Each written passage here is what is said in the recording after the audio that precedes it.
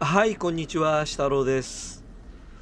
前回国立天文台の動画をアップしましたが今回はその帰り道でブラブラ歩いた様子をお送りしたいと思います。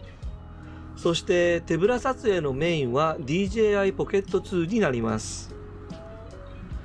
GoPro mini はそれまでの撮影でバッテリーをほぼ使い切ってしまったのでカメラチェンジしました。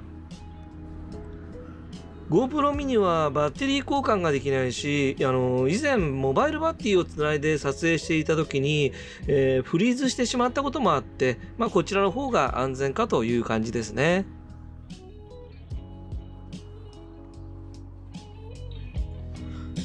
手持ちのカメラとしてはインスタ 360X3 もあるのでこちらバッテリー交換できますから、まあ、シングルレンズモードで撮るという手もあるんですけどその編集を含めた総合的な使い面の扱いのしやすさとしては、まあ、やっぱりポケット2の方が上かなという気はしています。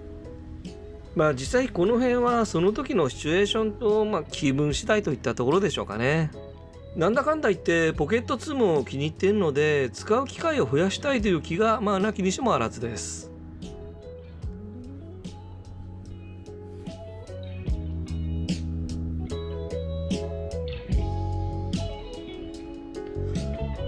ころで国立天文台に来るのに行きやバスを使ったわけですが途中外を眺めていたら結構綺麗な場所が目についてきましたそれで帰りはブラブラ歩きながら駅まで行こうかなと思った次第ですこういう本来予定していなかったところも寄り道する機会に恵まれたりするのが、まあ、この散歩撮影の楽しみの一つでもありますね。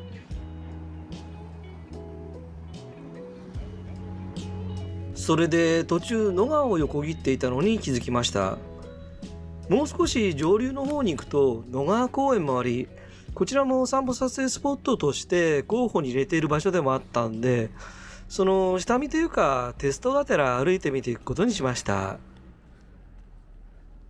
ある程度途中まで行ったらあとは近くの調布飛行場にも少し寄ってみたいなと思います。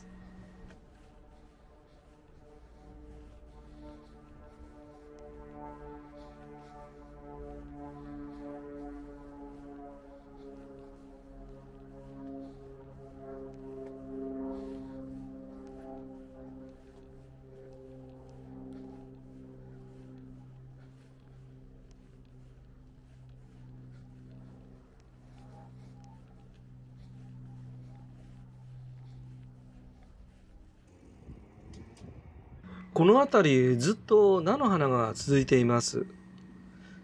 優しい黄色が川にマッチしてなんとも綺麗ですね。菜の花は匂いが気になるのがちょっと難点ではありますけどね。下に降りてみますか。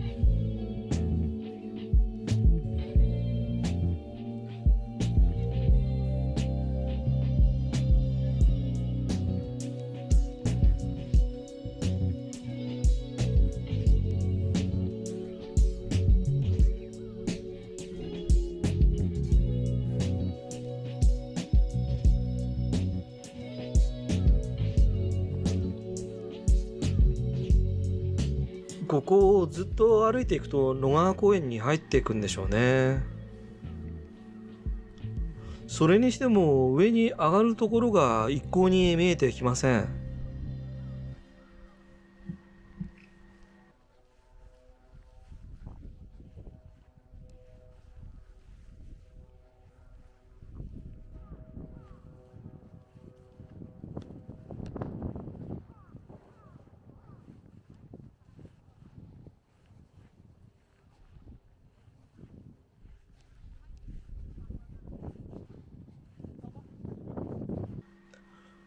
橋のそばなら階段があると思ったんですけどね。完全なる当て外れ。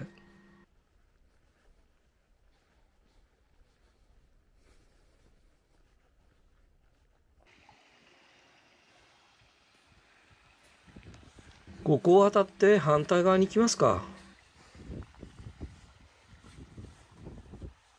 これ水量が多かったら絶対使えないよね。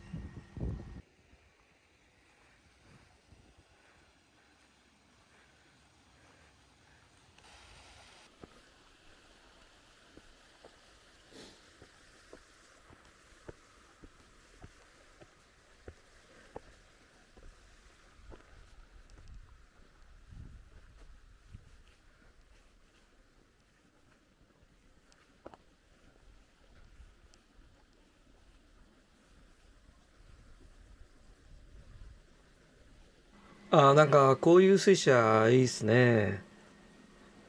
公園が近いことも感じさせられます。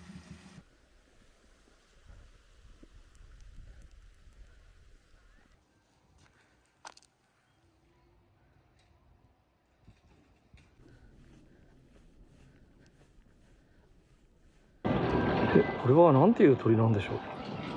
これはなんつうんかな。本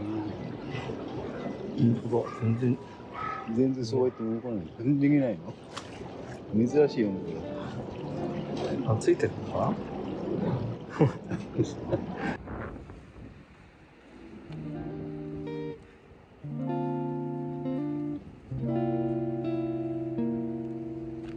もうじき桜も満開かな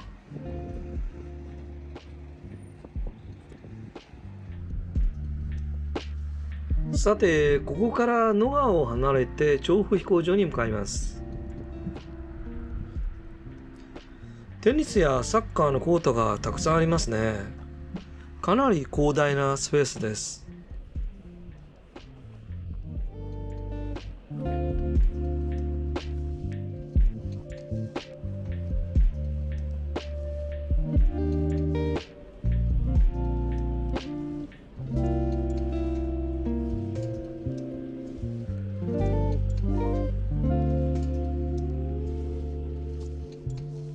向こうに見えるのが調布飛行場の管制塔かな？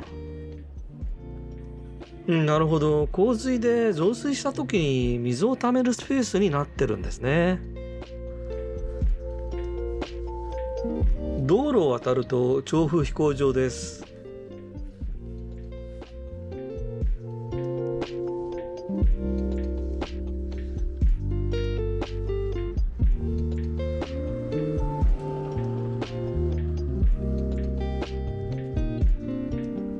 さすがに中は見れないか。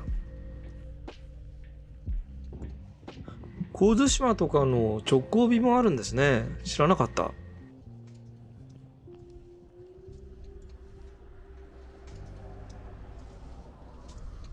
うん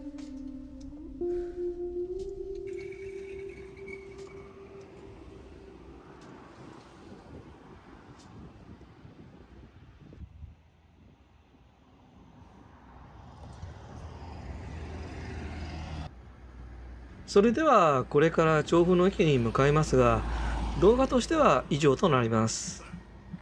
ここまでご覧いただきありがとうございました。それではまた。